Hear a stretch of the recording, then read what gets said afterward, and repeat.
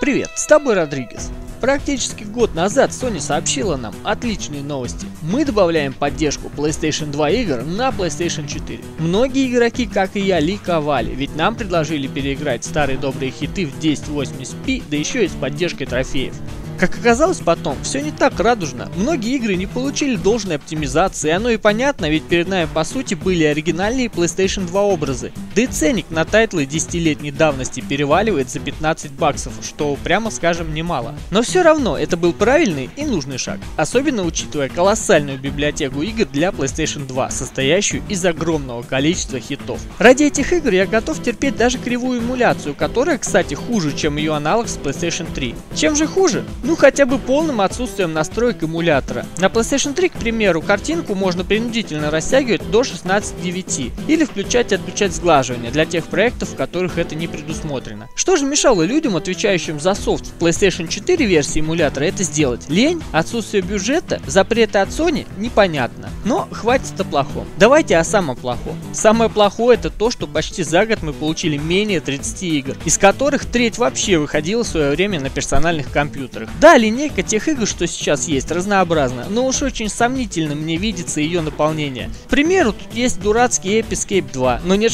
шедеврального Fatal Frame, который, к слову, есть на PlayStation 3. Тут есть средняя по всем меркам головоломка Fantavision про какие-то фейерверки, но нет великолепных Gran Turismo 3 и 4. И посему я запускаю новую серию роликов со скромным названием «Портируйте это немедленно». Каждый выпуск будет содержать пяток отличных игр в своем жанре, будет содержать сочные нарезки геймплея, записанные лично мной, а также ностальгические сопли и житейские рассказы. В общем, все как вы любите. Итак, дорогие друзья, первый выпуск файтинги. Поехали!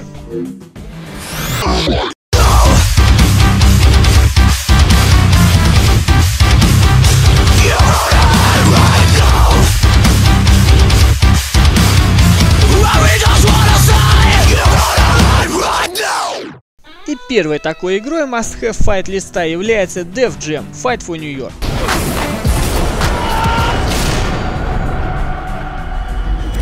Ядреная файт-игра от конгломерата Def Jam Recordings, которая включает в себя всех звезд хип-хапа, а также популярных на тот момент селебрити. Суровый уличный мордобой, в котором Кармен Электро разбивает голову бутылкой изящной, но сисястой азиатки. В котором еще живого Дэнни Треха можно выкинуть в окно общаги, а головой Лудакриса помять двери внедорожника. И все это под забористую рыбчину нулевых. Файтинг получился крутым настолько, что сразу стал культовым не только среди фанатов этого направления музыки, но и среди всех, кто любит качественные игры. Ведь помимо солидной графики и глубоких возможностей кастомизации, игра включает в себя еще и прикольный сюжетный режим с возможностью прокачки персонажа, а также мордобой сразу для четырех игроков, доступный, правда, только мажорам с мультитап адаптером. Как файтинг, конечно же, Def Jam довольно прост.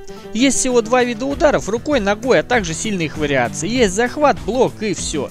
Какие-то комбы и прочие суперприемы выполняются элементарно, но выглядит игра местами жестче, чем Mortal Kombat. Этому способствовали впечатляющая графика, а также суровый арсенал приемов, в котором нашлось место этому, этому и даже этому.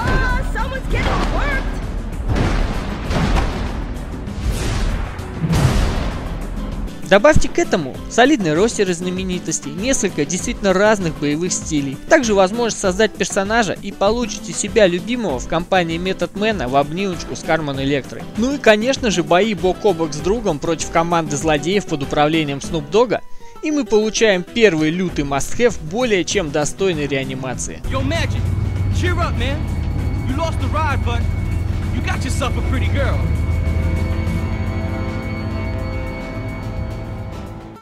Roar Еще одна серия файтингов, которую я очень люблю, и которая канула в небытие. Я познакомился с ней еще в далеком детстве, когда в мои руки попал демо-диск для PlayStation 1. В ней была демка того самого первого Bloody Roar, в которой было всего два персонажа, волк и заяц, прям как спокойной ночи малыши. Нас в первую очередь впечатлила графика и драйвовый геймплей, и поэтому при каждом следующем путешествии в ларек за дисками я с вожделением искал эту игру. И в конце концов мне в руки попала вторая часть, которая и стала нашим настольным файтингом. На PlayStation 2 выходили Bloody Roar 3 и Bloody Roar 4. Чем же эти файтинги так круты? Ну, во-первых, персонажи умеют превращаться в животных. И это не те животные, в которые мы с вами превращаемся после четвертого шота. Нет, это самые настоящие волки, зайцы, кошки и даже хамелеоны. Во-вторых, игра выглядит как самый настоящий рай для эпилептика. Такому количеству ярких спецэффектов позавидуют даже крайне Guilty Gear. И в-третьих, Bloody Roar очень легко и приятно начать играть, потому что боевая система тут максимально дружелюбна к новичкам, а по нажатию кнопки трансформации вы и вовсе можете почувствовать себя бессмертным.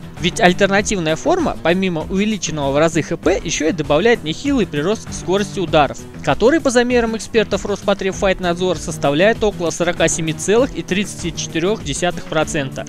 В остальном же это крепкий и красивый 3D файтинг, в котором потрясающая графика, а миловидный зайчик разрывает глотку человеку-жуку. И все это под забористый металл, все как я люблю. И ростер также не может не радовать. Персонажей много, они все интересные и отличаются геймплейно. Что еще надо? Ну конечно же перенести игру на текущее поколение. Я готов кинуть деньги в монитор прямо сейчас.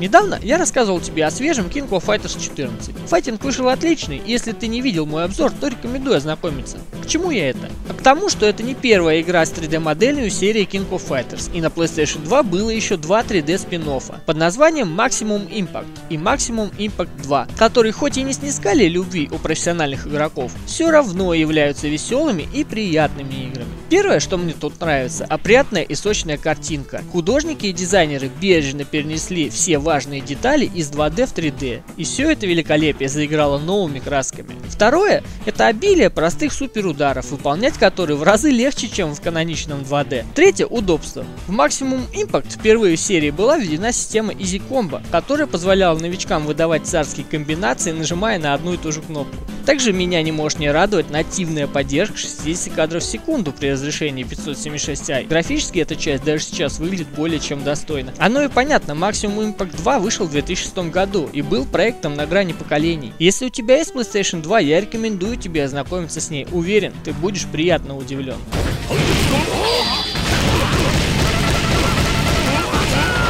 Ну а мне лишь остается надеяться, что игру не забудут и добавят таки в библиотеку обратной совместимости. Тем более, что King of Fighters 2000 там уже есть.